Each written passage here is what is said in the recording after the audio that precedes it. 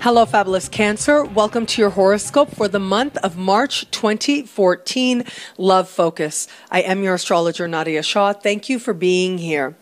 Well, last month I told you that a lot of things were going to start coming together for you, that a lot of the lessons you've been going through since the fall of 2013 would now start to make a lot more sense, and February would be the month when key decisions would be made a lot of things that seem to have half starts are we're going to find their resolution. But more than that the larger lessons of your love life were really going to come together. And now this month really is a new day in love. You've done the work trust that. And i think that every cancerian regardless of your love status have really asked yourself some key questions as to where you are in love if you like it or not and what needs to change to move yourself in a more positive direction those of you who were attached did a lot of work. Those of you who had somebody there in your sphere decided to take things to another level or were honest with yourself about what wasn't working and changed course. And those of you who were single really decided what it was within you, understood what it was within you that you really needed in love, what maybe was holding you back from having that love, but also making some very brave choices in terms of preparing yourself for the love that you really want and that you really deserve. And so now we get to this month, and this month is very much about a new day, a new cycle, new energy as well. And it's about you being open to a deeper love, a more significant love, slowly but surely.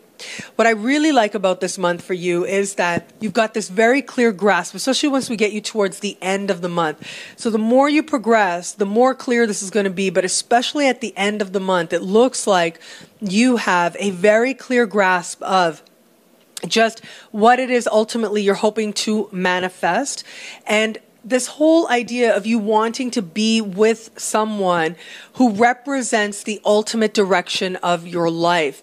And at the same time, there is an element here this month that has to do with intensity and honesty. You want someone who can really, really touch you to the core. Someone who can really affect you very deeply, someone you can be deeply vulnerable with and deeply honest with, someone you can trust deeply. With these two energies, these two influences, not influences because the planets have no influence over us, they're merely a mirror, allowing us another perspective to look at our lives. But with these symbols playing out in the sky, it does indicate that you are now ready for something much more honest than you were before. The work that's been done has been done and is now behind you. You are better for it. So those of you who are attached, I do think you're going to find yourself moving into a even deeper deeper commitment than you've known before with your current partner. There is a deeper element here of sharing, and I am seeing at least one moment, which for some of you will be more comfortable than for others of you, but there is one moment when I'm seeing you kind of say, okay, this is what I'm willing to share, this is what I'm not willing to share. Let's figure this out on a practical level. How are we going to actually merge our lives more deeply? And how is it that maybe we need to practice a little bit more independence? And so, regardless of how that lesson, that moment sort of comes up for you, the two of you are going to find a resolution that is very sweet and does bring you to much more closer, allowing you to see how this person actually fits into the larger vision of your life. And this person can actually walk with you for the long haul those of you who have somebody in your sphere, I do think that this month is one of those sort of make or break months. This is, can I really trust you? Is is this somebody that you really feel like you could expose things that you don't readily share with others, but also you are making decisions as to what is it that you really want to share, what matters in sharing, but also what you really don't. What's it what is okay for you to keep personal and keep a little close to the heart for you to decide maybe share a little bit later but just be cautious of that and your intentions with sharing okay? Because i am seeing that for some of you you may talk yourself out of sharing something that actually needs to be said something that has to do with your own life personally maybe an element of your past that you're still carrying. I think that you are going to find that the reception you receive for actually sharing some personal things is a lot better than you realize. However, you want to wait until we get you to the end of the month to get there, okay? So before you really start spilling your guts, make sure you're not spilling too much, especially early in the month And then once we get you towards the end of the month, a lot more things are going to just sort of organically come forward, and you're going to find yourself sharing and desiring a deeper intimacy with this person and feeling yourself changed for the better as a result of your interactions with this person.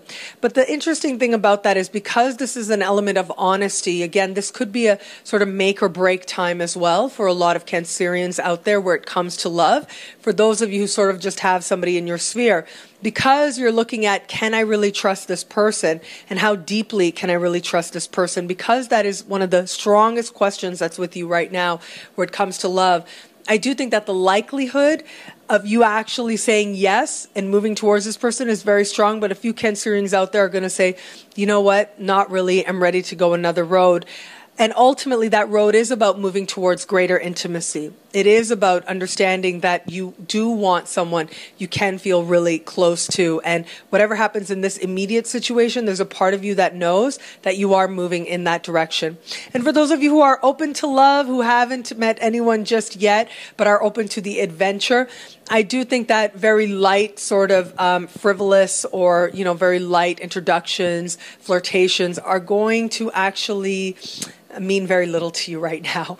I think, if anything, you are going to be one who is wanting the honest experience, the honest exchange. And if it can't be really honest and really open, it's not going to interest you very much. However, having said that, I do think that you've got a right perspective on the big picture enough to honestly evaluate the people who do show up.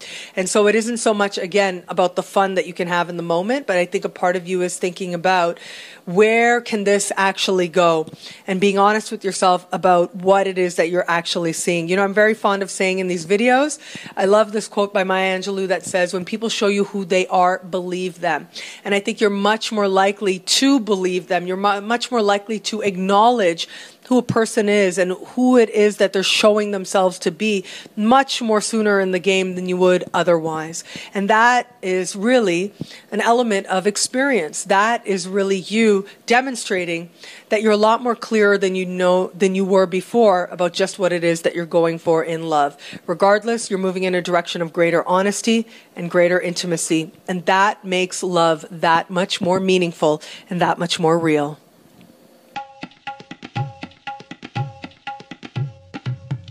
Thank you for watching.